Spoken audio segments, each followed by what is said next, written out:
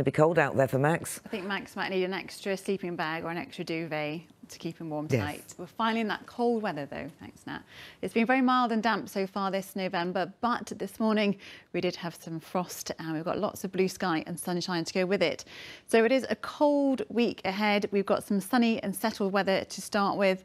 There could be some showers later in the week. It turns a bit cloudier for a time through Wednesday, but a few days of largely dry weather to come as well. Now, no frost reported in Topsham by Alan around 10 past 7 this morning, but it was a lovely sunrise and we did have some frosty windscreens elsewhere in the region. And it could well be the same through tonight. This area of high pressure is staying with us. So we've got the clear skies through tonight and into tomorrow. The winds will be a bit lighter through tomorrow as well. So it's looking fairly settled and mainly dry. The exception is the Channel Islands. There's this line of showers through the English Channel that will continue to feed some showers across the Channel Islands through the rest of the day and some gustier winds to go with that as well. Elsewhere though, we have got a lot of dry weather, a lot of clear blue sky and sunshine for the rest of the day. There is a northeasterly breeze, a little bit cooler out in that wind today, but highs of up to 9 or 10 degrees. So it will be a fine end to the day. We have got mostly clear sky overnight.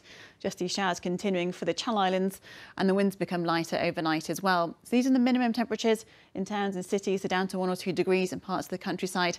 It is likely to get down to freezing, so there may well be some frost for first thing tomorrow as well. But again, we will have some sunshine throughout the day tomorrow.